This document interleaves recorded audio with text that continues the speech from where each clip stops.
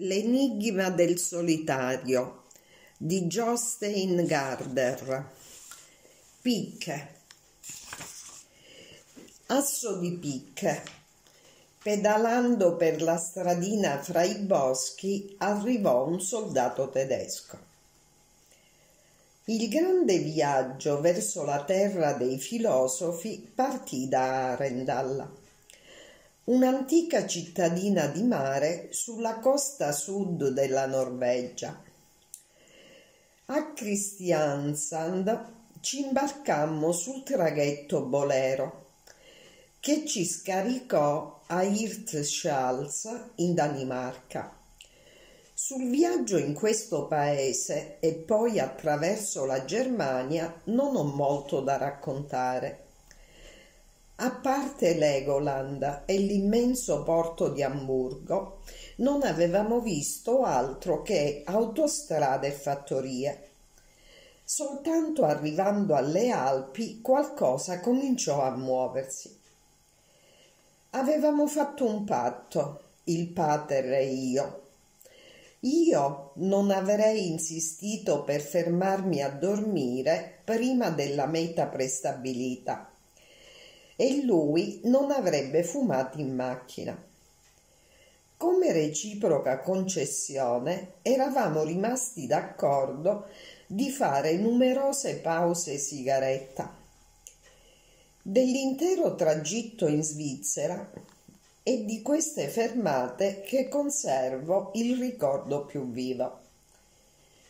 Le pause sigaretta incominciavano sempre con una piccola conferenza del pater su qualcosa che aveva pensato mentre lui era alla guida e io, seduto dietro, leggevo Topolino o facevo solitari.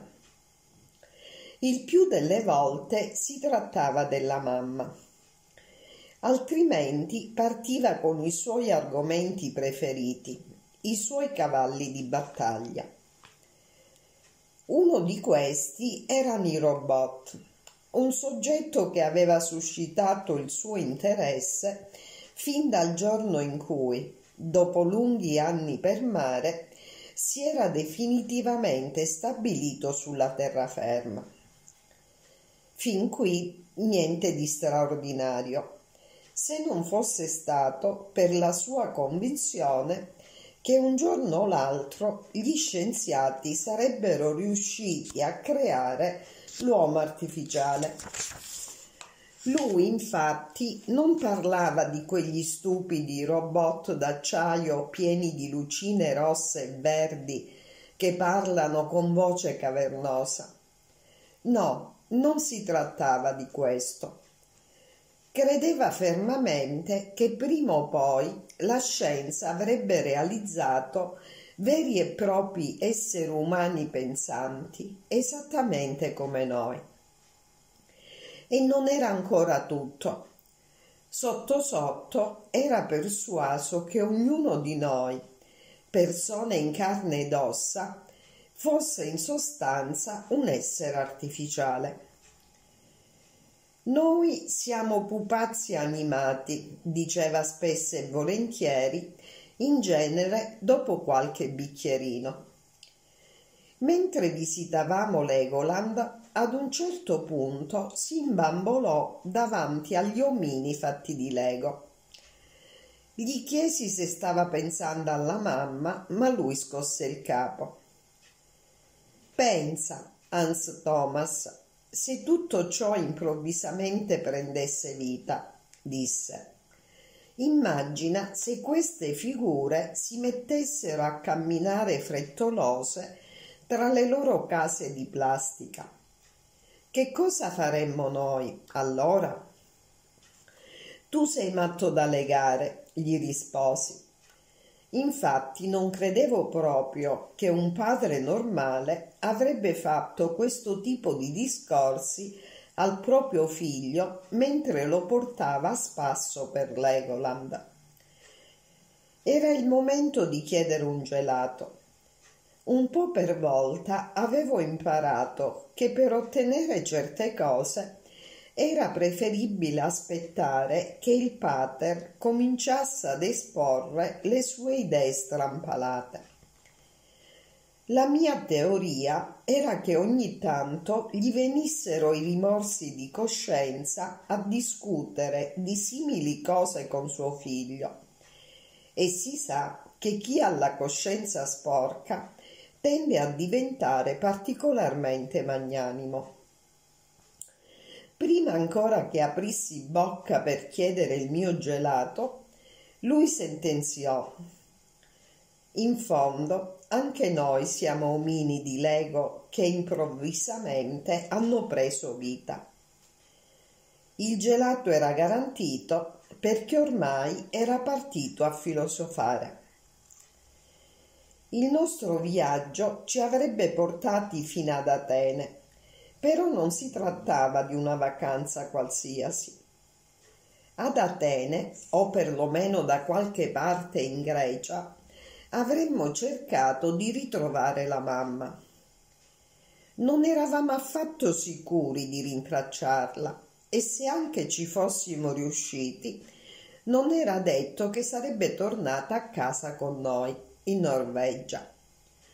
Ma dovevamo tentare aveva detto il pater, perché né lui né io avremmo potuto continuare a vivere senza di lei. La mamma ci aveva lasciato quando avevo quattro anni. Deve essere questa la ragione per cui ho continuato a pensare a lei come alla mamma. Il pater, invece, avevo avuto modo di conoscerlo meglio e un bel giorno mi era sembrato strano chiamarlo ancora papà. La mamma voleva uscire dalle quattro mura di casa ed esplorare il mondo per ritrovare se stessa. Il pater e io capivamo benissimo come una donna, già madre di un bambino di quattro anni, volesse esercitare il sacrosanto diritto di andare alla ricerca di se stessa. Ragion per cui non avevamo esitato ad appoggiare il suo progetto. Tuttavia, per quanto mi riguardava, non capivo davvero perché la mamma, per ritrovare se stessa, doveva andarsene via lontano da noi non poteva tentare di sistemare le sue faccende rimanendo a casa ad Arendal o al limite accontentarsi di un viaggetto fino a Christiansand. A ogni buon conto, il mio consiglio a chiunque desideri ritrovare se stesso è di rimanere esattamente dov'è altrimenti rischia davvero di perdersi una volta per tutte. Erano passati tanti anni da quando la mamma ci aveva lasciato che in effetti non riuscivo più a ricordare il suo viso. Sapevo soltanto che era molto più bella di qualsiasi altra donna, o perlomeno questo sosteneva il pater e aggiungeva che quanto più una donna è bella, tanto più le è difficile ritrovare se stessa. Dal primo momento in cui era scomparsa, io non avevo smesso di cercarla. Credevo di individuarla ogni volta che attraversavo la piazza di Arendal e quando ero, a Oslo dalla nonna la cercavo con gli occhi lungo tutta la via Carl Johan, però non l'avevo mai ritrovata. Poi un giorno il pater era arrivato a casa con una rivista greca, un giornale di moda, e lì in copertina e anche nelle pagine interne c'era la mamma. A giudicare da quelle immagini si sarebbe detto che ancora non aveva ritrovato se stessa, perché quelle non erano fotografie della mia mamma. Si sforzava chiaramente di assomigliare a qualcuno di completamente diverso. il pater e io avevamo concluso che era un vero peccato.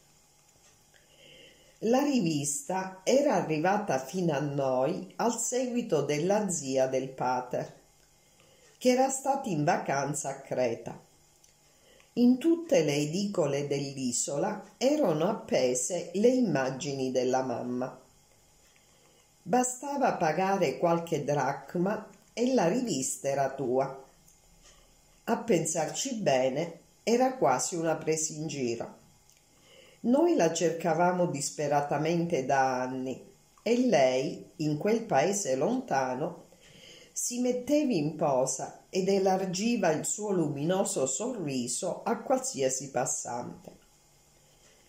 In che pasticcio sarà andata a cacciarsi? aveva detto il pater, grantandosi la testa.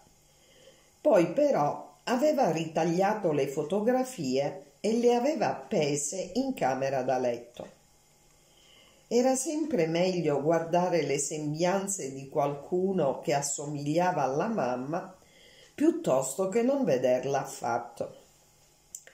Era stata così che il pater aveva deciso di andare in Grecia a cercarla. Dobbiamo tentare di riportarcela a casa, Hans Thomas aveva detto. Se non ci riusciamo, ho paura che finirà per annegarci in questa sua avventura della moda. Avevo già sentito dire che si può annegare in un bicchiere d'acqua, ma in un'avventura era la prima volta. Oggi so che può capitare a chiunque. Alle porte di Amburgo, durante una delle nostre soste autostradali, il pater cominciò a raccontare di suo padre. Erano cose che avevo già sentito non so quante volte, ma lì, con il frastuono di tutte quelle auto che ci sfrecciavano accanto, suonavano quasi diverse. Il fatto è che mio padre è un bastardo del tedesco. Adesso non mi vergogno più a dirlo, perché ormai ho imparato che i bastardi del tedesco non valgono per forza meno dei figli di chiunque altro. Però per me è facile dir così. Non ho provato sulla mia pelle che cosa vuol dire crescere senza padre in una cittadina di provincia nel sud della Norvegia. Probabilmente, arrivando in Germania, il pater ha pensato di descrivermi l'incontro tra suo padre e sua madre. Si sa che in tempo di guerra non è facile trovare da mangiare. E lo sapeva anche la nonna, quel giorno che partì in bicicletta per andare nei boschi di Frolanda a raccogliere mirtilli rossi. Aveva appena 17 anni e per sua fortuna sforò. Quella spedizione per raccogliere mirtilli rossi fu l'avvenimento più importante della mia vita. Può sembrare strano che a determinare tutta la mia vita sia stato un fatto avvenuto oltre trent'anni prima della mia nascita. Eppure se quella domenica la nonna non avesse forato, non sarebbe nato mio padre. E se non fosse nato lui, di certo io non sarei qui. Lassù a Frolanda accadde dunque che la nonna, con il suo cestino pieno di mirtilli rossi, forò una gomma Naturalmente non aveva con sé il necessario per metterci una toppa, ma se anche l'avesse avuto, non avrebbe saputo da dove incominciare. Fu allora che, pedalando per la stradina fra i boschi, arrivò un soldato tedesco. Sebbene tedesco, non si presentò con fare particolarmente marziale anzi fu molto molto cortese con la ragazza dei mirtilli rossi che non sapeva più come tornare a casa E poi lui si era portato dietro alcune toppe per riparare le camere d'aria. Se il nonno fosse stato una perfida canaglia, come si dava a intendere che fossero tutti i soldati tedeschi in Norvegia, avrebbe potuto tirar dritto per la sua strada. Naturalmente però non è questo il punto. Oltretutto la nonna avrebbe dovuto fingere di non vederlo e respingere con sdegno l'aiuto delle forze germaniche d'occupazione. Il problema fu che al soldato tedesco piaceva molto quella ragazzina nei guai, anche se poi, a pensarci bene, Fu proprio lui la causa del guaio più grosso di tutta la sua vita. Ma questo sarebbe successo alcuni anni dopo. A questo punto del racconto mio padre si accendeva sempre una sigaretta. Insomma, anche alla nonna piaceva il tedesco e la cosa le fu fatale non soltanto ringraziò il nonno per averle riparato la bicicletta, ma accettò addirittura che l'accompagnasse fino ad Arendal. Così non solo trasgredì alle regole, ma si comportò pure da autentica cretina. Su questo non sussiste il minimo dubbio. E il peggio fu che accettò pure di rivedere Ludwig Messner. Fu così che la nonna si innamorò di un soldato tedesco. Ahimè, non sempre si sceglie l'oggetto del proprio amore, ma almeno lei avrebbe dovuto decidere di non incontrarlo più prima di perdere completamente la testa, cosa che non fece e così dovette subirne le conseguenze. I due continuarono a vedersi di nascosto. Se ad Arendal si fosse saputo che la nonna si trovava con un tedesco, tutte le porte dei buoni concittadini norvegesi le si sarebbero chiuse in faccia. Nella vita di tutti i giorni, infatti, l'unico modo di contrastare l'occupazione tedesca era evitare qualsiasi contatto con i tedeschi medesimi. Nell'estate del 1944 Ludwig Messner fu richiamato in Germania per difendere il Terzo Reich sul fronte orientale non ebbe neppure la possibilità di salutare la nonna e dal momento in cui saltò sul treno ad Arendal sparì dalla sua vita. Da quel giorno infatti la nonna non ebbe mai, mai più notizie di Ludwig Messner, anche se per mesi, per anni cercò di rintracciarlo. Alla fine si convinse che era accaduto durante la campagna di Russia. Probabilmente la nonna avrebbe finito per dimenticare sia il giro in bicicletta a Froland, sia le cose avvenute in seguito, se non che si ritrovò incinta. Era avvenuto giusto prima che il nonno partisse per il fronte orientale ma lei stesso lo ignorava e lo scoprì soltanto diverse settimane dopo che lui se n'era andato. Gli avvenimenti successivi furono l'espressione di quella che il pater definisce la perversità degli esseri umani. E arrivata a questo punto, in genere si accende un'altra sigaretta. Quando nacque mio padre, mancavano pochi giorni alla liberazione. Era il maggio del 1945.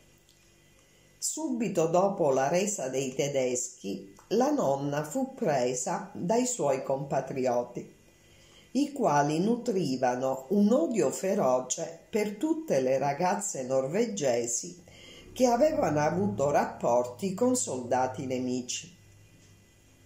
E purtroppo non erano neanche poche quelle povere figliole. Ma la peggio l'ebbero quelle che dagli invasori avevano avuto un figlio. La nonna si era messa con il nonno perché lo amava, non perché era un nazista. A dire il vero, il nonno non era neppure nazista. Prima che lo rispedissero in Germania, la nonna e lui avevano progettato di fuggire insieme in Svezia. Però circolava voce che le guardie di frontiera svedesi si fossero messe a sparare a vista sui disertori tedeschi che tentavano di passare il confine e così avevano rinunciato al progetto. La gente di Arendal si avventò contro la nonna e la rapò a zero perché portasse il marchio della sua vergogna. La presero anche a schiaffi e a calci, sebbene avesse partorito da poco. Si può senz'altro dire che Ludwig Messner si era comportato meglio. Senza un capello in testa, la nonna dovette rifugiarsi ad Oslo da zio Trige e zia Ingrid. Per lei Arendal non era più un luogo sicuro. Pur essendo primavera, con un tempo mite e soleggiato, doveva sempre girare con il capo coperto, perché era pelata come un vecchio. Sua madre rimase ad Arendal e cinque anni più tardi la nonna vi tornò portando con sé mio padre. Né la nonna né il pater hanno mai cercato scusanti per ciò che accadde a Froland. L'unico punto su cui ci si potrebbe interrogare è la durata del castigo. Sarebbe interessante, per esempio, domandarsi per quante generazioni deve essere espiato un crimine. È chiaro che la nonna aveva la sua parte di colpa per aver fatto un figlio e del resto non lo negò mai. Trovo però un po' eccessivo prendersela con il bambino in pratica mi chiedo se sia stato giusto o no penalizzare anche lui. Ho riflettuto a lungo su questo problema. Il pater era quello che veniva definito un frutto del peccato. Ma l'intera umanità non risale forse ad Adamo ed Eva? Forse il paragone non calza perfettamente ma nel primo caso si trattava di mele, nell'altro di mirtilli rossi. E in fondo una camera d'aria non è poi così diversa da un serpente. Comunque, ogni madre sa che non potrà passare il resto dei suoi giorni a rodersi l'anima per un bambino che ormai è nato e in ogni caso, secondo me, il disonore non dovrebbe mai pesare sui figli. Anche un bastardo del tedesco dovrebbe aver diritto alle gioie della vita. Ed è proprio su questo punto che il pater e io abbiamo avuto qualche dissenso.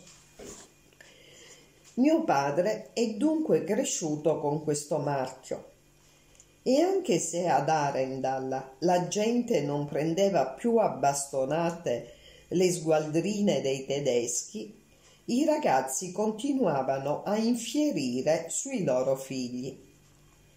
I bambini sono infatti bravissimi a imparare dagli adulti le più raffinate malvagità, ragion per cui l'infanzia del pater fu una prova durissima.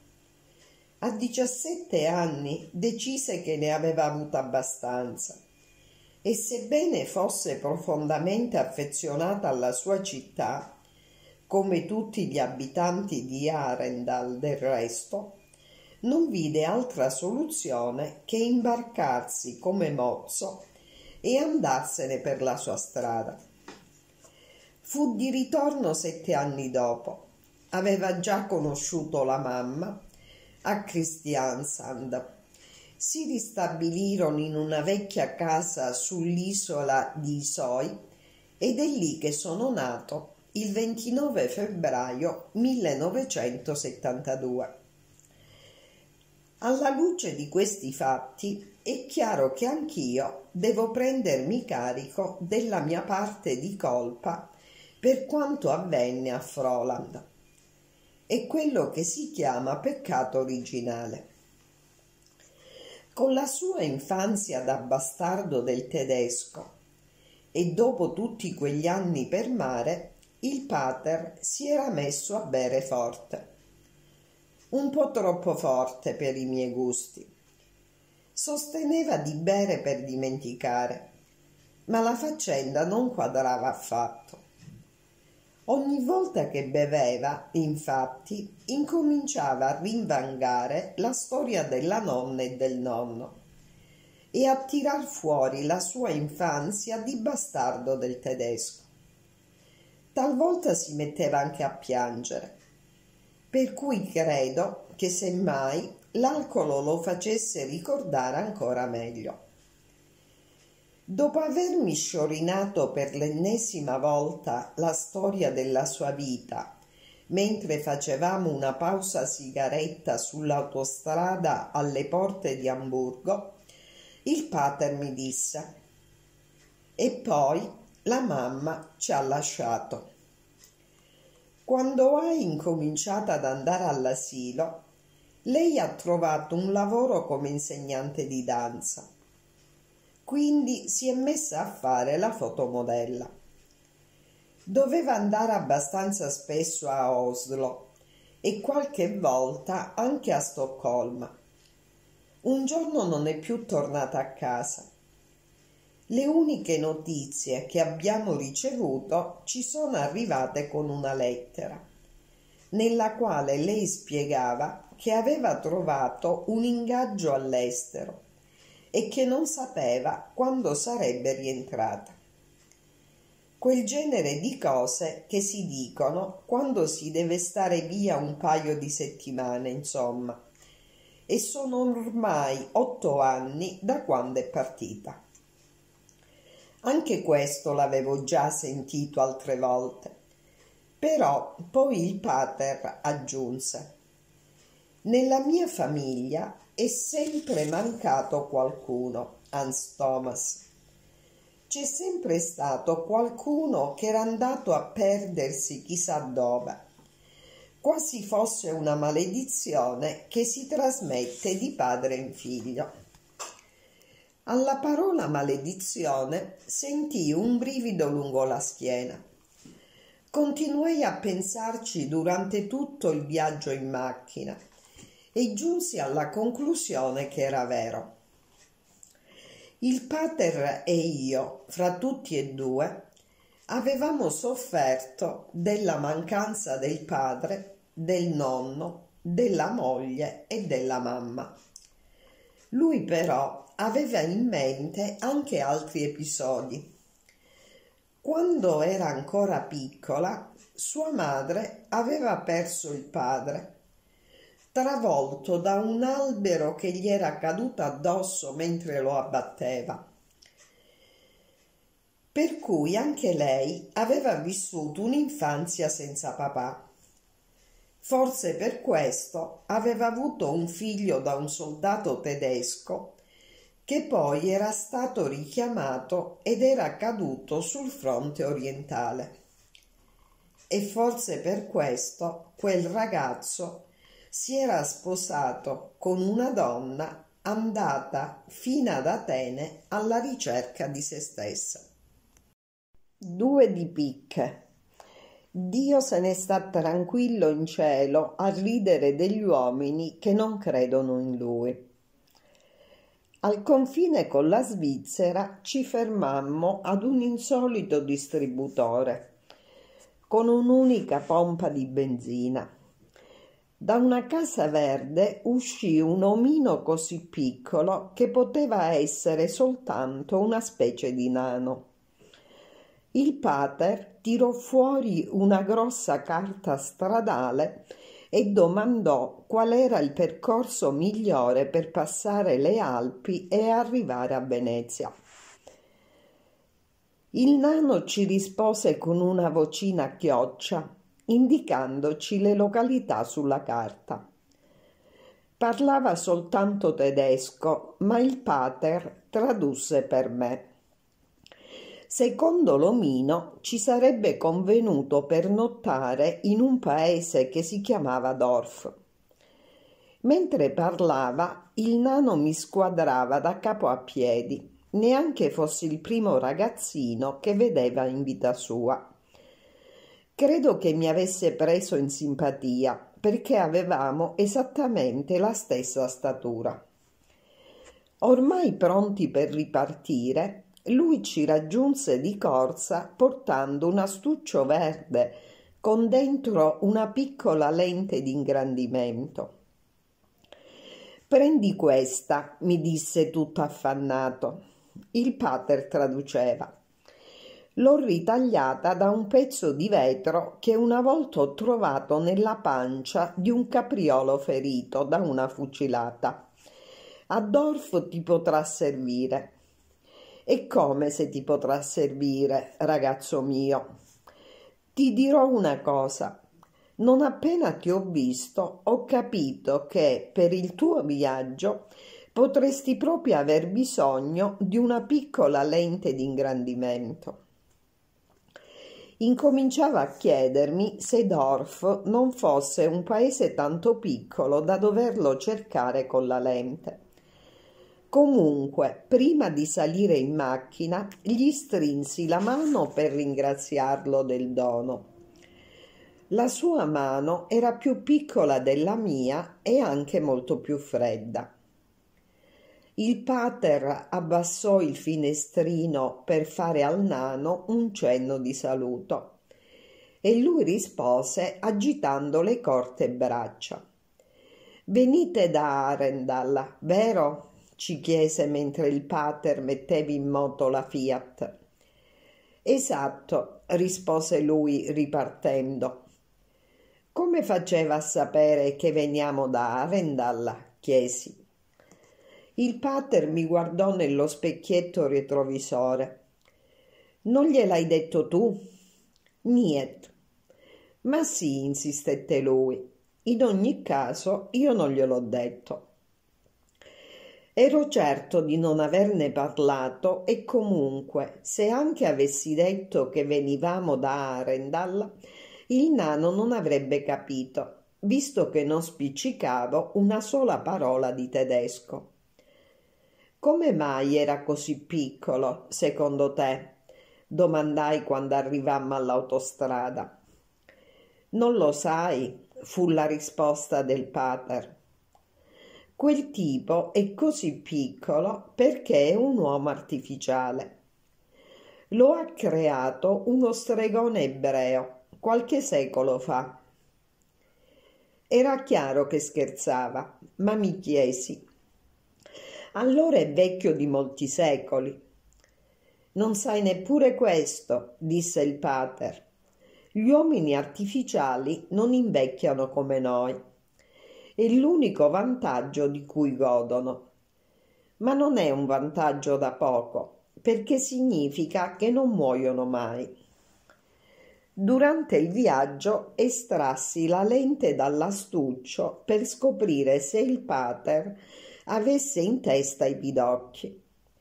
Non ne trovai, però sulla nuca c'era qualche brutto pelo.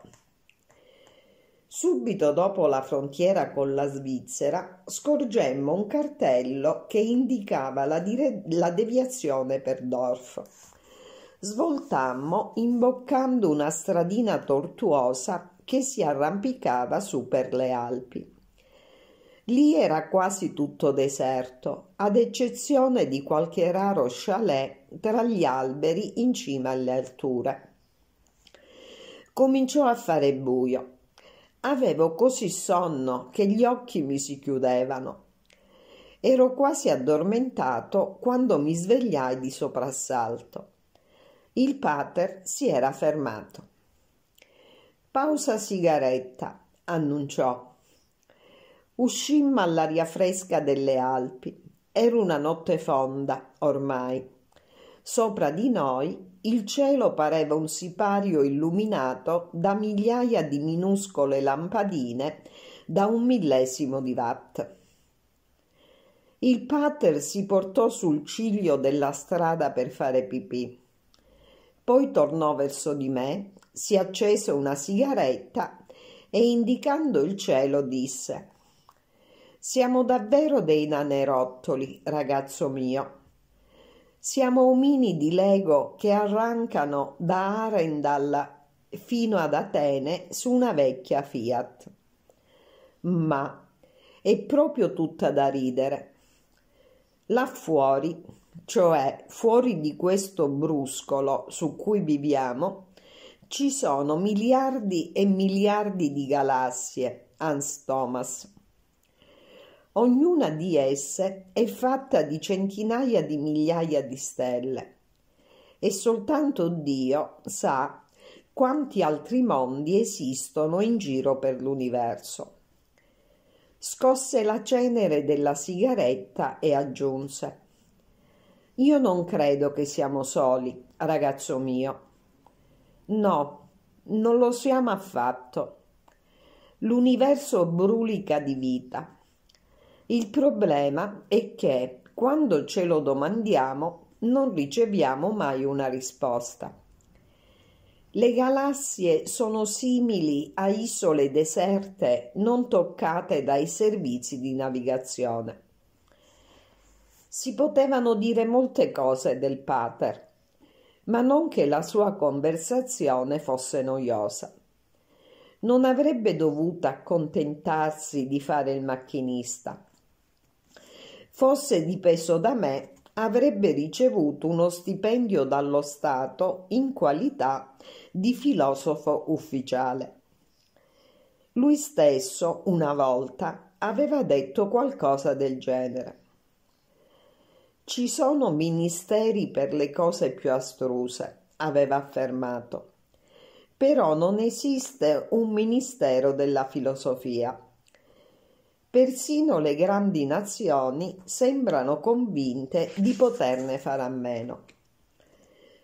Condizionato com'era da pesanti fattori ereditari, talvolta cercavo di inserirmi nei discorsi filosofici che il pater intavolava quando non parlava della mamma. Questa volta dissi per quanto l'universo sia grande, non significa per forza che la nostra terra sia uno scherzo. Lui alzò le spalle, gettò il mozzicone di sigaretta sul terrapieno e se ne accese un'altra. In realtà, quando parlava della vita e degli astri, non era mai troppo interessato a sapere che cosa ne pensavano gli altri. Aveva idee troppo chiare per curarsi di quelle altrui. Infatti, anziché ribattere alla mia obiezione, disse Chissà da dove diavolo arriva la gente come noi, Hans Thomas. Ci hai mai pensato a questo? Sicuro che ci avevo pensato.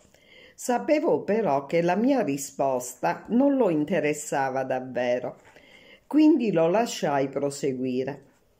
Ci conoscevamo da tanto tempo, il pater e io, e avevo imparato che era meglio comportarsi così.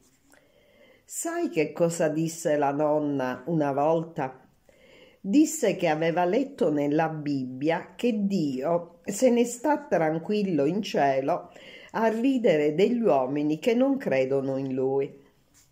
E perché? Chiesi. era sempre più facile domandare che rispondere.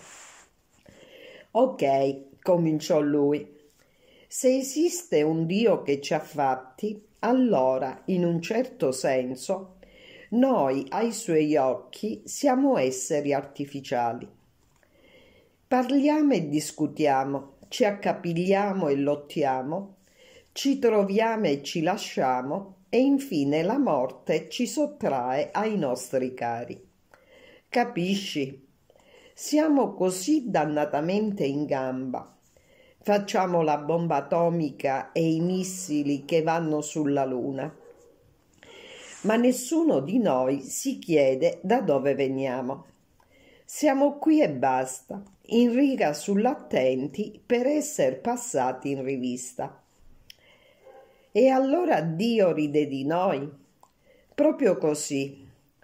Se fossimo riusciti noi a fare un uomo artificiale, Hans Thomas, e questo uomo artificiale si mettesse a fare lunghi discorsi sulle quotazioni in borsa o sulle scommesse dei cavalli, senza porsi il più semplice e il più importante dei quesiti, cioè da dove ha preso origine, noi ci faremmo una gran bella risata.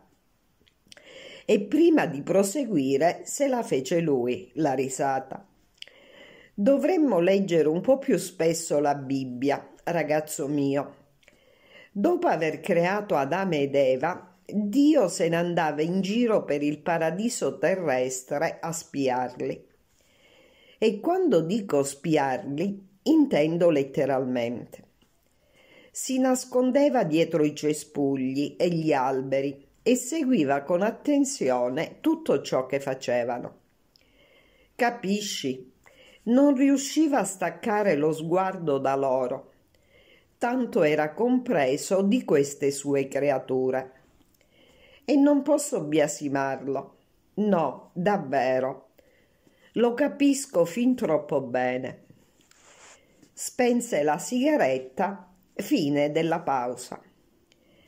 Tutto sommato, pensai, sono un ragazzo fortunato. Prima di arrivare in Grecia avrei potuto approfittare a occhio e croce di 30 o 40 di quelle pause sigaretta.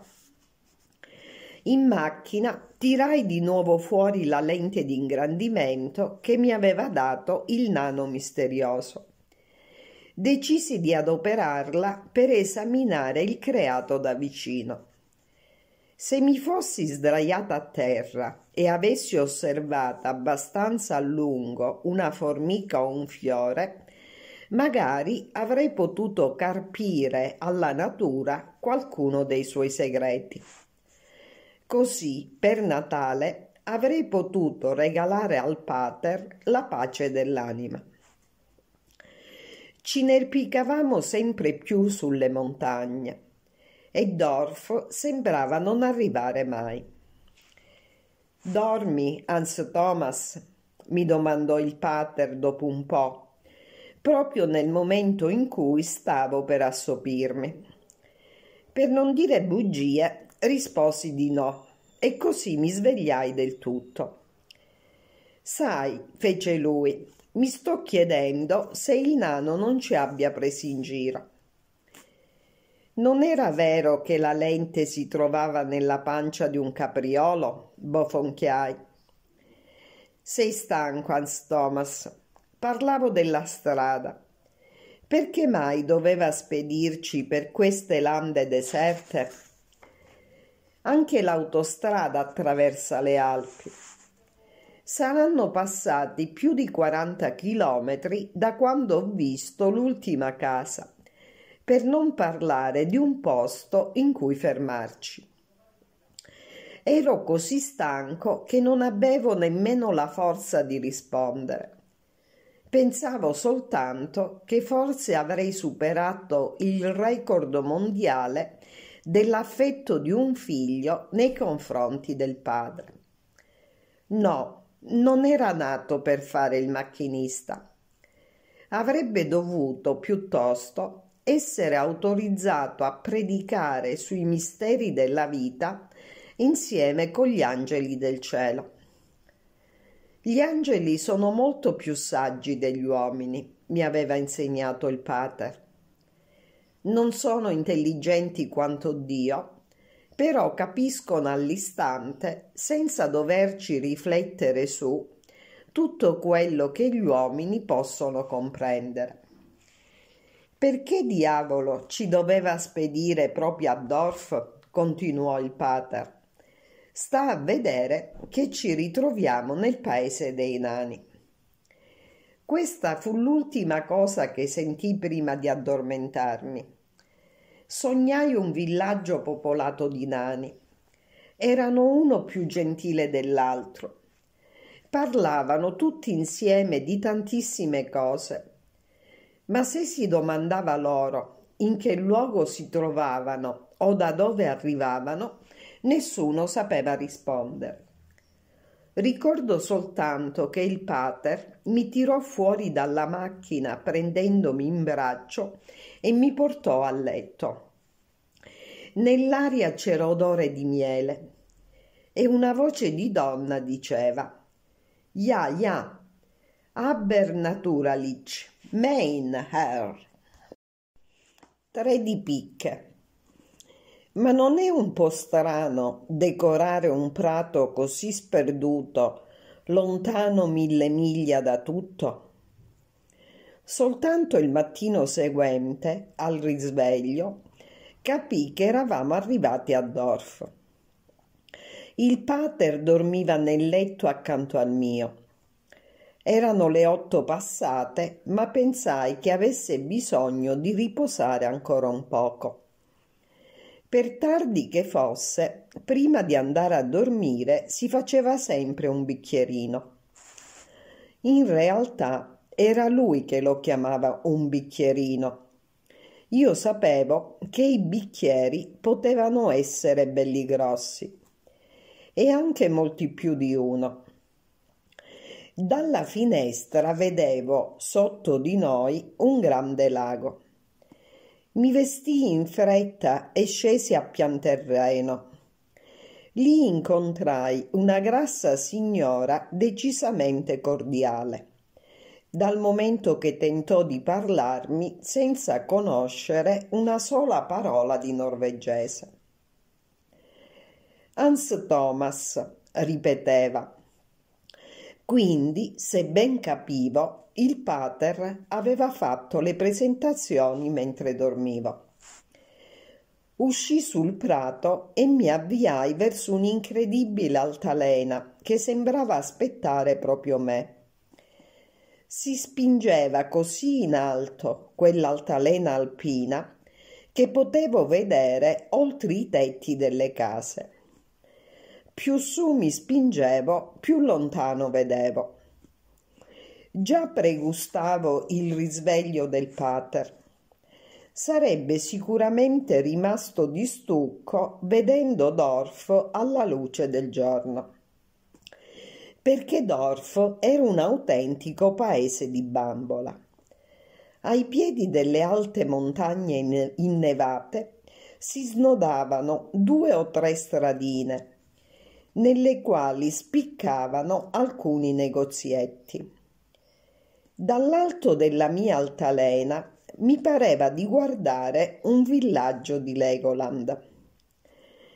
La locanda in cui alloggiavamo era una costruzione bianca su tre piani, con le imposte rose e file di minuscole finestre dai vetri colorati.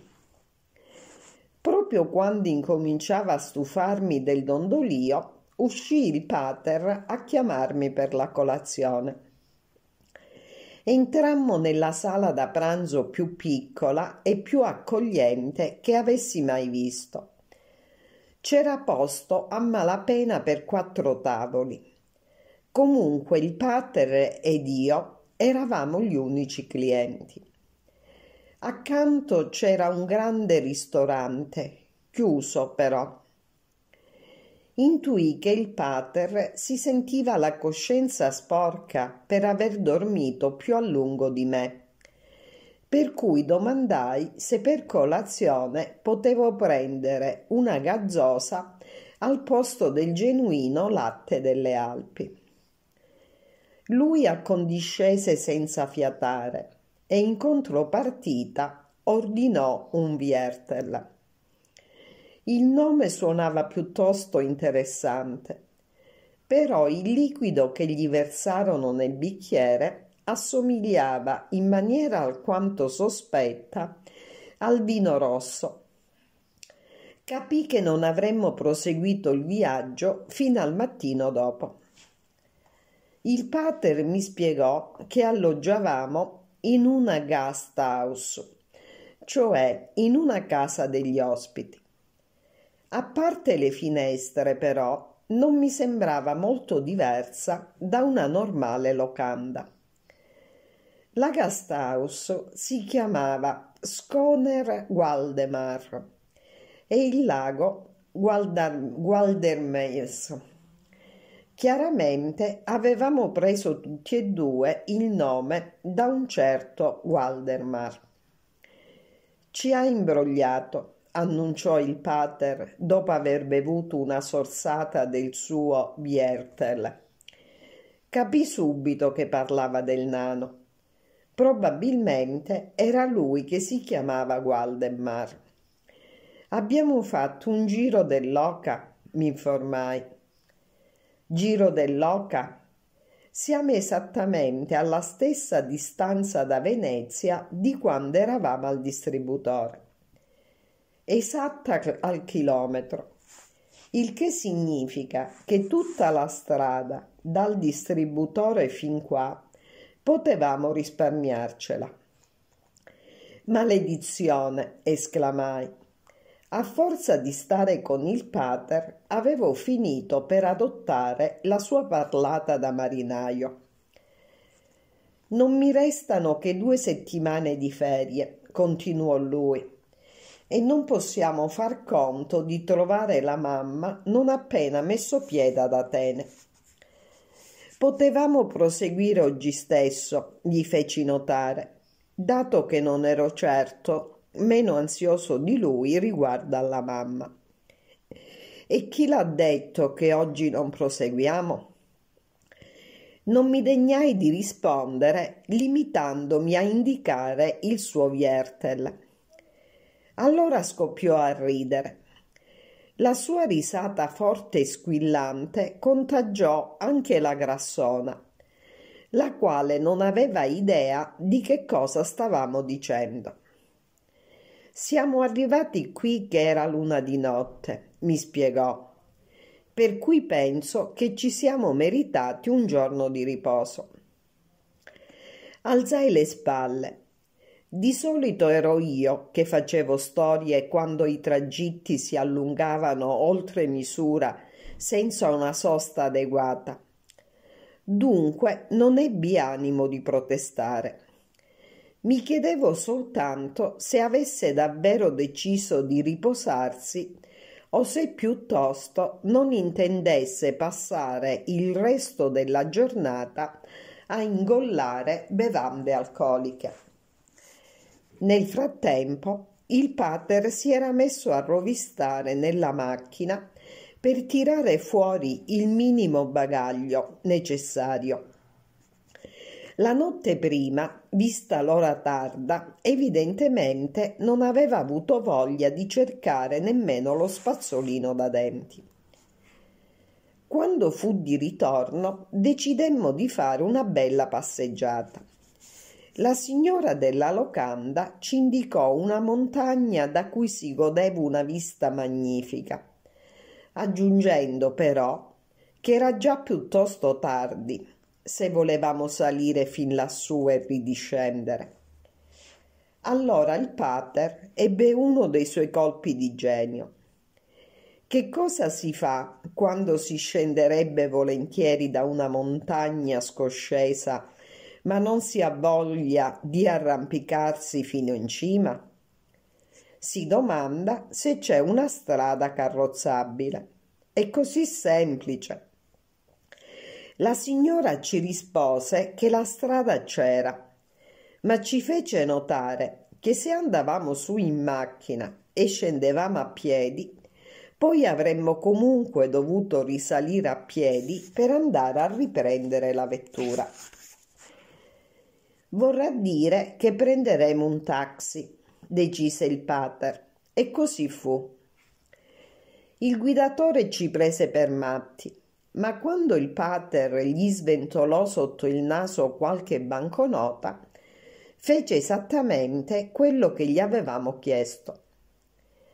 La signora della locanda era stata più brava del nano del distributore nell'indicarci l'itinerario. Da quando avevamo lasciato la Norvegia non ci eravamo mai trovati di fronte ad una montagna e ad un panorama così mozzafiato. Sotto di noi, lontanissimo, scorgevamo un piccolo stagno, affiancato da un agglomerato di microscopici puntini che in realtà erano case. Si trattava del Guerdermarsee e di Dorf. Sebbene fossimo in piena estate, lì, in cima al monte, il vento gelido si infilava fi- fin sotto i vestiti. Il pater mi spiegò che eravamo ad un'altitudine molto superiore a quella di qualsiasi montagna norvegese. Io trovavo l'idea affascinante, ma lui sembrava deluso. Mi confidò di aver organizzato quell'escursione soltanto perché sperava di scorgere il mar Mediterraneo. Magari si era pure immaginato di vedere che cosa stava facendo la mamma in Grecia. Quando andavo per mare mi ero abituata esattamente all'opposto, spiegò. Potevo restare in coperta per ore, per giorni interi, senza mai vedere terra. Cercai di immaginarmi come potesse essere era molto meglio, continuò il pater, come se mi avesse letto nel pensiero. Quando non posso vedere il mare, mi sento in gabbia. Ci accingemmo alla discesa seguendo un sentiero che si insinuava tra grandi alberi rigogliosi. Anche lì c'era odore di miele. A un certo punto ci sedemmo a terra per riposarci tirai fuori la lente mentre il pater si accendeva una sigaretta. Trovai una formica che si arrampicava lungo un bastoncino, ma non voleva starsene ferma. Era impossibile studiarla da vicino. Allora la scossi via e in mancanza d'altro mi concentrai sul bastoncino.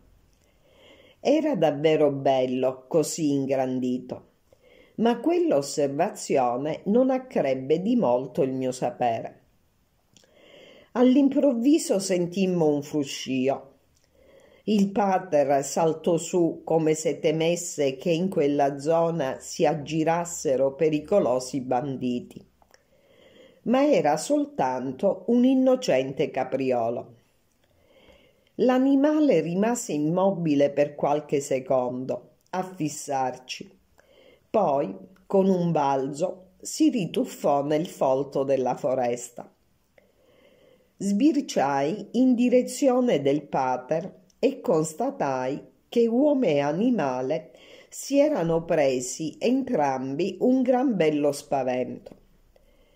Da quella volta ho pensato sempre al pater come ad un capriolo. Però non ho mai osato dirglielo. Pur avendo bevuto un Viertel per colazione, il pater quel mattino era in piena forma. Scendevamo a balzelloni giù per il pendio fino a quando, improvvisamente, non ci trovammo davanti una formazione di sassolini bianchi ordinatamente disposti in fila in una piccola radura tra gli alberi. Erano almeno qualche centinaio, tutti lisci e rotondi, e nessuno più grande di una zolletta di zucchero. Il pater si arrestò di botto, grattandosi la testa alquanto perplesso. Credi che crescano qui? domandai. Lui scosse la testa. Mm, gatta Cicova, Hans Thomas. Ma non è un po' strano decorare un prato così sperduto, lontano mille miglia da tutto? Lui non rispose subito, però capì che era d'accordo con me. Non riuscire a trovare una spiegazione. Ecco una cosa che al pater proprio non andava giù. In casi del genere mi ricordava un poco Sherlock Holmes.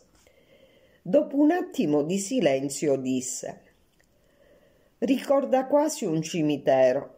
Ogni singola pietruzza ha il suo posto assegnato di pochi centimetri quadrati. Mi aspettavo che dicesse che gli abitanti di Dorf avevano sepolto lì alcuni dei loro omini di Lego, ma persino al pater quell'ipotesi sarebbe suonata assurda. Forse sono stati dei bambini che hanno seppellito alcune coccinelle, borbottò, poco convinto. Probabile, dissi. Mi ero chinato su uno dei sassi con la lente d'ingrandimento. Di certo non sono state le coccinelle a deporre i sassolini come se fossero uova. Lui scoppiò in una risata nervosa.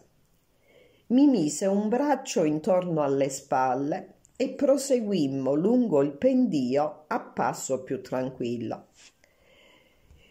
Dopo un altro tratto passammo davanti ad una capanna di tronchi. Credi che ci abiti qualcuno? chiesi. Ma certo, rispose il pater. E come fai ad esserne così sicuro?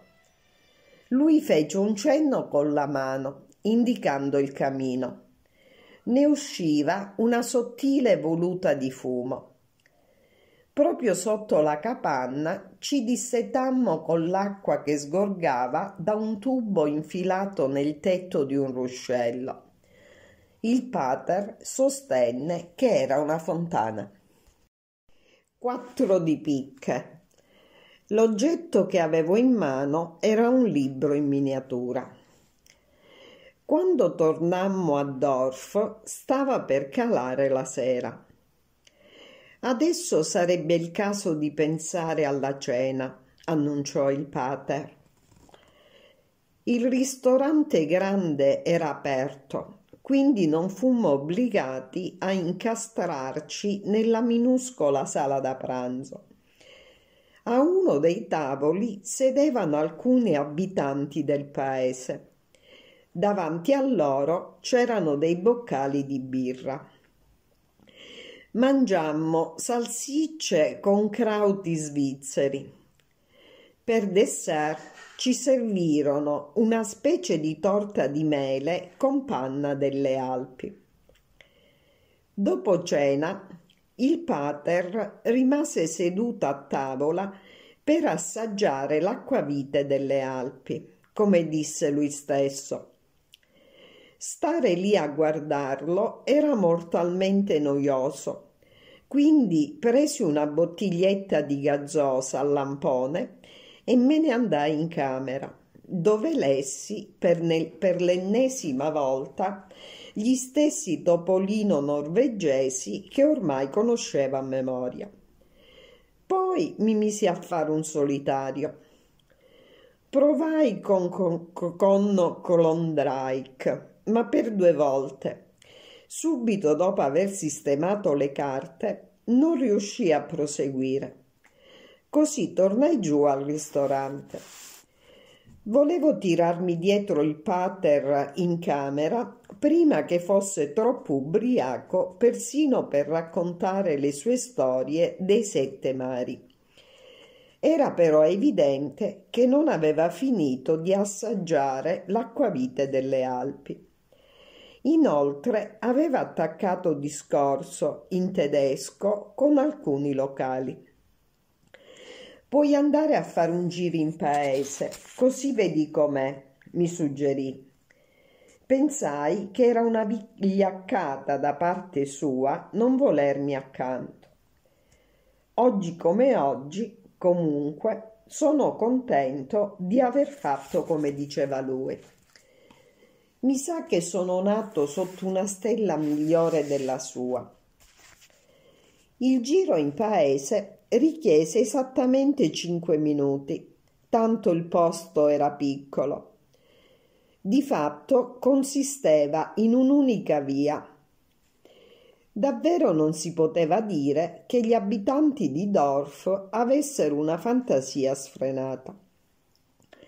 Ero decisamente furibondo con il pater, che se ne stava ad assaggiare l'acquavite delle Alpi con i locali. Acquavite delle Alpi. Indubbiamente il nome suonava più gradevole e meno offensivo di grappa. Una volta il pater aveva affermato che con la salute che si ritrovava non poteva permettersi di, di non bere e io ero rimasto lì, rimuginando a lungo su quella frase prima di capirla. Di solito la gente afferma l'esatto contrario, ma era ammissibile che il pater rappresentasse l'eccezione che conferma la regola. Non per nulla lui era un bastardo del tedesco. Nella Wildermarstrasse tutti i negozi erano chiusi, ma davanti alla drogheria si era fermato un furgoncino rosso per consegnare della merce. Una ragazzina lanciava una palla contro un muro. Su una panchina, sotto un grande albero, un vecchietto fumava la pipa. Questo era tutto. Anche se c'erano tante deliziose casette da fiaba, per me quel paesino delle Alpi era da morire di noia. In ogni caso non capivo a che cosa potesse servirmi lì una lente di ingrandimento. L'unica cosa che mi rinfrancava un poco era l'idea che il giorno dopo saremmo ripartiti. Nel pomeriggio o verso sera saremmo arrivati in Italia e da lì avremmo attraversato la Jugoslavia per poi raggiungere la Grecia. E in Grecia, in Grecia forse avremmo trovato la mamma. Solo a pensarci mi veniva il, capo, il capogiro. Dall'altro lato della strada c'era una piccola panetteria era l'unica vetrina che non avevo ancora guardato e attraversai per andare a vederla. Accanto ad un piatto di biscotti stantii c'era una boccia di vetro con dentro un pesce rosso. Dal bordo superiore del vaso mancava una grossa scheggia aveva pressappoco la dimensione della lente che mi aveva dato il nano misterioso al distributore di benzina. Estrassi la lente dalla tasca, tolsi la custodia e la studiai da vicino. Era di poco più piccola del pezzo mancante alla boccia. Il minuscolo pesce rosso nuotava in cerca specchio nel vaso di vetro. Viveva sicuramente di briciole di biscotto. Chissà. Forse un capriolo aveva cercato di arraffarsi il pesce e invece s'era ritrovato con un pezzo del vaso nella pancia. All'improvviso i raggi del sole calante inondarono la vetrina, illuminando la boccia di vetro. Allora vidi che il pesce non era soltanto rosso, ma anche arancione, giallo e verde. E in quell'attimo anche l'acqua e la boccia si tinsero delle tonalità del pesce, in un'esplosione di colori che ricordava la tavolozza di un pittore. Più fissavo il pesce, il vetro e l'acqua, più mi scordavo di dove mi trovavo. Per alcuni istanti mi parve addirittura di essere io il pesce nella boccia, mentre lui se ne stava fuori a fissarmi a bocca aperta. Mentre fissavo il pesce nel vaso, scoprì all'improvviso che dietro il banco della panetteria c'era un vecchio dai capelli bianchi. Mi stava osservando. Poi mi fece segno di entrare. Trovai strano che la panetteria fosse aperta di sera. Dapprima mi voltai a guardare verso lo snocker Waldemar, nel caso il pater avesse finito di assaggiare l'acquavite delle Alpi. Non vedendolo, aprì la porta del negozio ed entrai. Grüß Gott, salutai in tono solenne. Era l'unica cosa che sapevo dire in tedesco e significava salute a Dio o qualcosa del genere. Capii subito che il panettiere era un uomo gentile. Norvegese, dissi, battendomi il petto per fargli intendere che non capivo la sua lingua. Il vecchio appoggiò i gomiti sul largo piano di marmo fissandomi. Davvero? mi rispose in norvegese. Anch'io ho vissuto in Norvegia, tanti, tanti anni fa. Adesso dimenticato quasi Alles norvegese. Si voltò per aprire un frigorifero vetusto e ne estrasse una bottiglia di gazzosa, che stappò e posò sul banco. Un dudù, ti piace la gazzosa? disse. Prego, mio younger amico. E una ser buona gazzosa. Portai la bottiglia alla bocca e ne bebbi qualche sorsata. Era ancora migliore di quella che avevo preso alla Snogder Waldemar Credo che fosse alla pera. Il vecchio dai capelli bianchi si appoggiò di nuovo al banco di marmo e sussurrò. È buona. Squisita, risposi. Yaul, disse ancora sottovoce. Questa è una Serghet gazzosa, ma ce n'è Auk un'altra Dorf. Quella è ancora più buona, però non è in commercio. Hai capito? Feci segno di sì. Aveva un modo così strano di sussurrarmi le cose che quasi mi faceva paura. Ma poi guardai i suoi occhi cerulei e non vi trovai altro che dolcezza. Vengo da Arendal, spiegai. Il pater e io andiamo in Grecia a cercare la mamma. Lei, accidenti, è andata a perdersi nel mondo della moda. Il vecchio mi guardò con aria corrucciata. Sast du Arendalla, amico mio, ed è andata a perdersi. Probabilmente ce n'è più d'uno che s'è perso Anch'io alcuni anni vissuto nella Grimstad, nella città cupa. Certo nessuno ricorda me. Alzai lo sguardo su di lui. Aveva davvero vissuto a Grimstad. Era la città accanto alla nostra. Era lì che il pater e io andavamo d'estate con la barca. Non è molto lontana da Arendal, farfugliai. No, non è. E sapevo che un giorno sarebbe arrivato qui a Dorfo un younger ragazzo. Sì, prendersi il tesoro. Adesso non è più soltanto mio. All'improvviso sentii il pater che mi chiamava. Dalla sua voce capì che si era scolato una buona dose di acquavite delle Alpi. Mille grazie per la gazzosa, ma ora devo andare. Il pater mi chiama. Vater, ja, aber naturlich, amico mio. Però aspetta un secondo.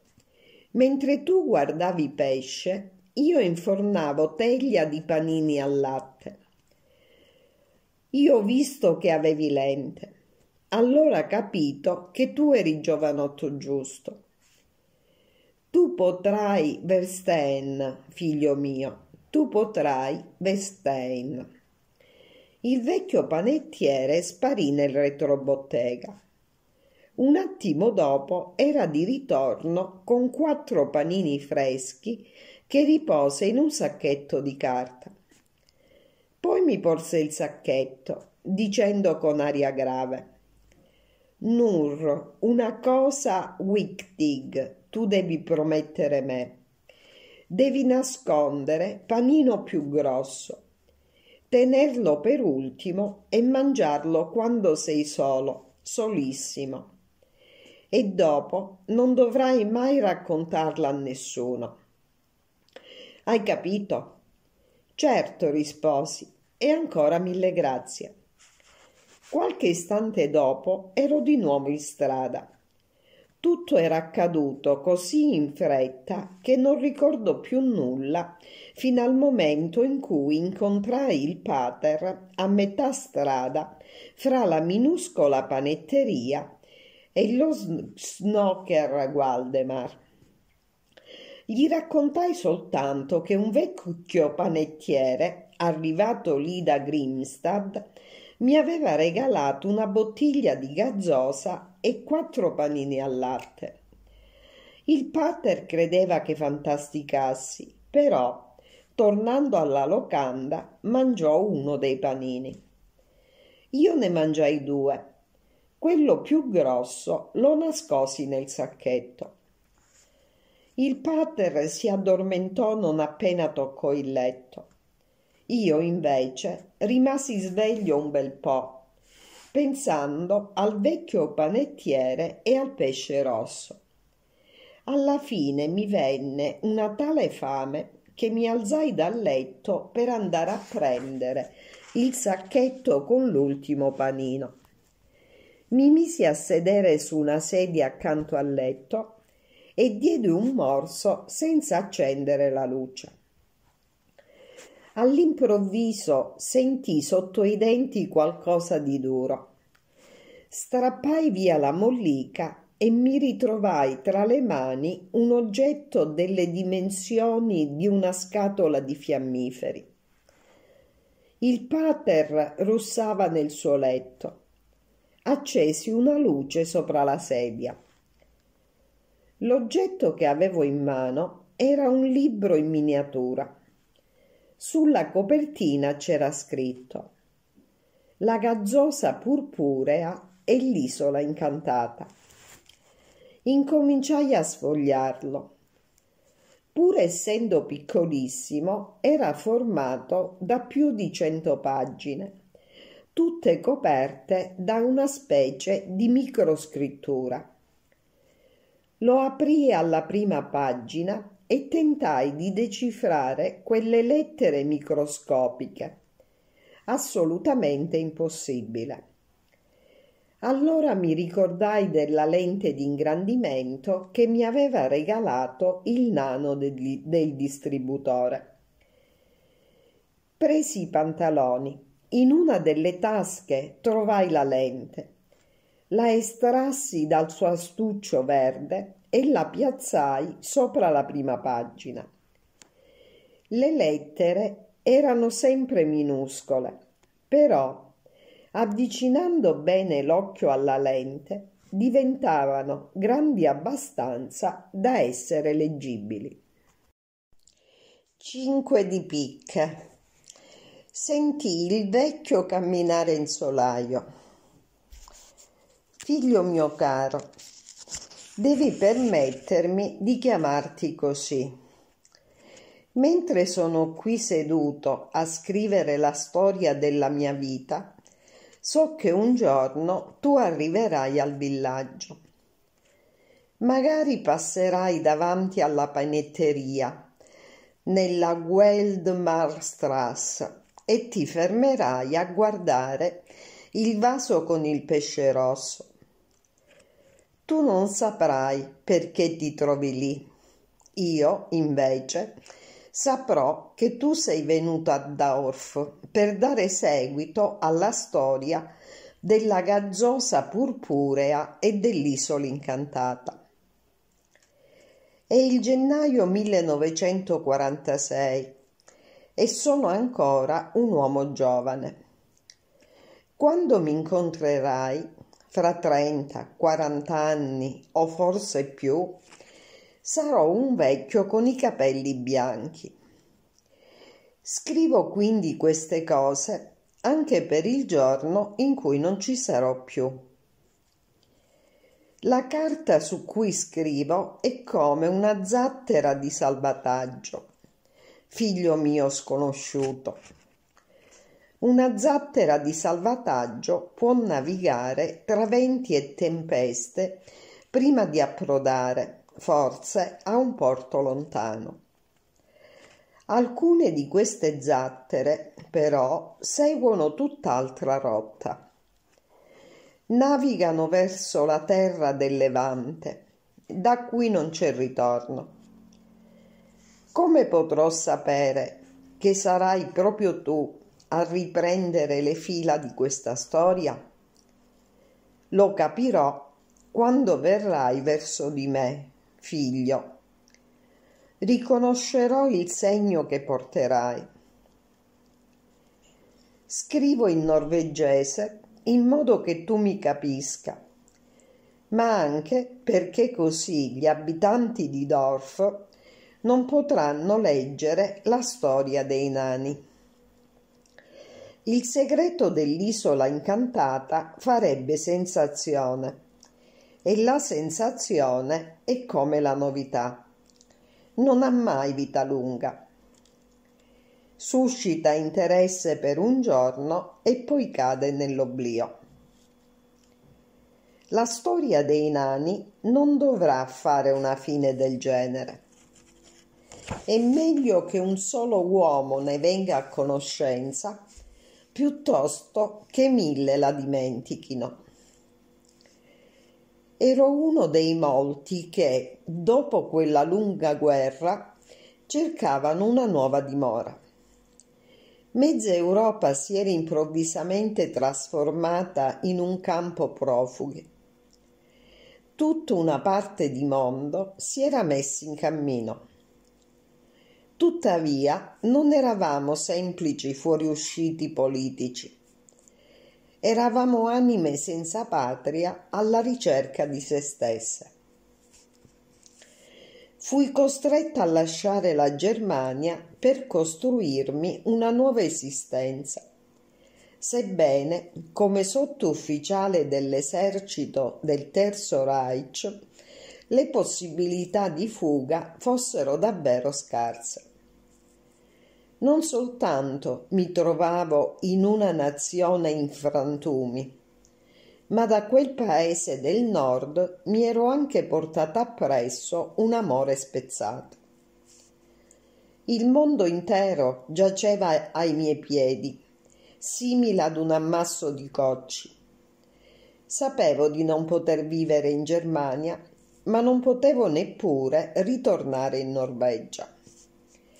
Alla fine riuscii a passare le montagne e a raggiungere la Svizzera. Dopo aver vagabondato per alcune settimane in uno stato di assoluta confusione, incontrai a Dorf il vecchio panettiere Albert Klages arrivavo dalle montagne, esausto per la fame e per il lungo girovagare. Scorsi all'improvviso un paesino. La fame mi spronò a correre come un cervo inseguito nel bosco. Poco dopo mi accasciai davanti ad una vetusta capanna di tronchi. Sentivo un ronzare di api, l'aria odorava di latte e di miele. Fu di certo il vecchio, il vecchio panettiere a sollevarmi e a portarmi dentro. Mi svegliai sdraiato su una panca e vidi, seduto su una sedia a dondolo, un uomo dai capelli bianchi che fumava la pipa. Non appena si accorse che aveva aperto gli occhi, mi fu accanto. Sei arrivata a casa, caro figliuolo, mi disse con una voce che mi scaldò il cuore. Sapevo che un giorno saresti giunta alla mia porta per prendere il tesoro, ragazzo mio. Poi, probabilmente, ricaddi in un sonno profondo. Quando mi svegliai ero solo nella capanna. Mi alzai e uscii sulla veranda. Il vecchio era seduto lì, chino su un tavolo di pietra. Sul piano massiccio era posato un delicato vaso di vetro. Nel vaso nuotava un pesce rosso dalle sfumature cangianti. Era quasi incredibile che un piccolo pesce, arrivato da qualche mare lontano, potesse nuotare con tanta vitalità proprio lì, in mezzo alle montagne più alte d'Europa. Un pezzo di mare vivo era stato issato fino in cima alle Alpi svizzere. Grus Gott, salutai il vecchio. Lui si voltò, scrutandomi con occhi pieni di dolcezza. Mi chiamo Ludwig, disse. E io sono Albert Klagges, rispose lui. Poi rientrò nella capanna, ma ne uscì quasi subito, recando latte, pane, formaggio e miele. Infine, indicando il paesino sotto di noi, mi rivelò che si chiamava Dorf e che lui vi possedeva una piccola panetteria. Fui ospite del vecchio per alcune settimane. Ben presto incominciai ad andare con lui alla panetteria. Albert mi insegnò a fare il pane, le brioche, le ciambelle e ogni tipo di torte e di biscotti. Avevo sempre saputo che gli svizzeri erano veri maestri nell'arte dei dolci. Albert era particolarmente felice di avere qualcuno che lo aiutasse a svuotare i pesanti sacchi di farina. Ma ero giovane e cercavo di entrare in contatto con gli altri abitanti di quel piccolo paese. Così mi capitava di andare alla vecchia locanda, Sconer Waldemar. Credo che la gente avesse preso a benvolermi. Sapevano benissimo che ero stato un soldato tedesco, ma nessuno mi faceva domande sul mio passato. Una sera la conversazione cadde su Albert il mio generoso ospite. Gli manca un venerdì, esclamò il contadino Fritz André. Beh, se è per quello, manca anche al panettiere precedente, aggiunse il vecchio commerciante Heinrich Albrecht. Quando mi inserì nella conversazione, domandando che cosa intendessero, mi risposero in maniera evasiva. Avevo bevuto qualche cara- caraffetta di vino e un'ondata di calore mi avvampò il viso. Datemi una risposta chiara, oppure smettetela di dire malignità sulla persona che fa per voi il pane che mangiate ogni giorno, esclamai. Di Albert per quella sera non si parlò più. Tuttavia, qualche settimana dopo, Fritz prese a pungolarmi. Ma tu lo sai dove va a prendere tutti i suoi pesci rossi? mi domandò. Avevo notato che da quando abitavo con il vecchio panettiere la mia persona suscitava un interesse particolare. Non sapevo che ne avesse più di uno, risposi. E quello che possiede l'avrà comprato in un negozio di animali a Zurigo, suppongo. Il contadino e il commerciante scoppiarono a ridere. Ne ha ben di più, spiegò il contadino. Una volta che mio padre tornava dalla caccia, Albert stava facendo prendere aria a tutti i suoi pesci rossi. Li aveva messi al sole tutti quanti e non erano davvero pochi. Mettitelo bene in testa, garzone di panettiere. Inoltre pare che non abbia mai messo piede fuori del paese, si intromise il commerciante. Abbiamo la stessa età, lui e io, e non l'ho mai visto lasciare questo posto. C'è chi dice che è uno stregone, sussurrò il contadino. Sostengono che non solo impasta pane e dolci, ma che quei suoi pesci lui li fa Comunque una cosa è certa, non li ha presi nel Guardermarsi. In verità anch'io cominciavo a domandarmi se Albert non celasse davvero qualche segreto. Alcune sue frasi mi tornavano alla mente come un bizzarro ritornello. Sei arrivato a casa, caro figliolo, Sapevo che un giorno saresti giunta alla mia porta per prendere il tesoro, ragazzo mio. Non volevo di certo ferire il vecchio panettiere, riferendogli le dicerie che circolavano in paese. Se davvero nascondeva un segreto, ero sicuro che me lo avrebbe raccontato a tempo debito. Per molto tempo fui convinto che tutte quelle chiacchiere a proposito del vecchio panettiere nascessero soltanto dal fatto che viveva isolato, lontano dal paese. Però c'era qualcosa nella sua vecchia casa che dava da pensare anche a me. Non appena varcata la soglia, ci si trovava in una grande stanza con un camino e un angolo cucina. Nella stanza si aprivano due porte. Una dava sulla camera da letto di Albert e l'altra sulla cameretta che, che lui mi aveva messo a disposizione quando ero arrivata a Dorf. Le stanze non avevano un soffitto particolarmente alto Tuttavia, osservando la casa dall'esterno, ero sicuro che ci fosse un grande solaio. Dall'altura alle spalle della capanna vedevo persino un lucernario nel tetto di ardesia.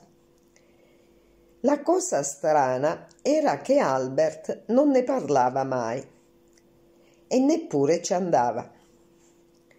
Così quando i compagni d'osteria parlavano di Albert, mi veniva da pensare al solaio. Una sera capitò che tornassi da Dorf più tardi del solito. Sentii il vecchio camminare in solaio. Ne fui talmente stupito e forse anche un po' sgomento che mi precipitai subito fuori a prendere acqua alla fontana, come facevo ogni sera.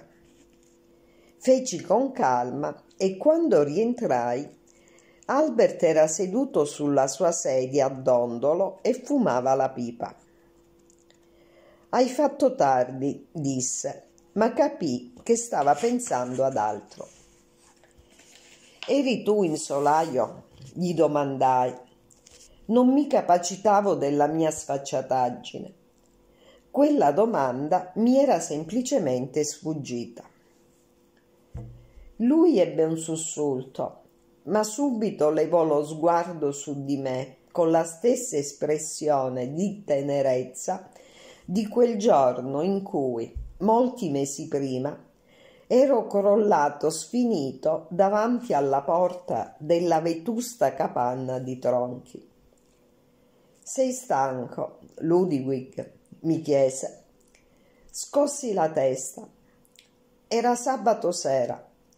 Il giorno dopo avremmo potuto dormire fino a che non ci avesse svegliato il sole. Si alzò e buttò qualche altro stecco sul fuoco. Allora rimarremo alzati un poco a parlare.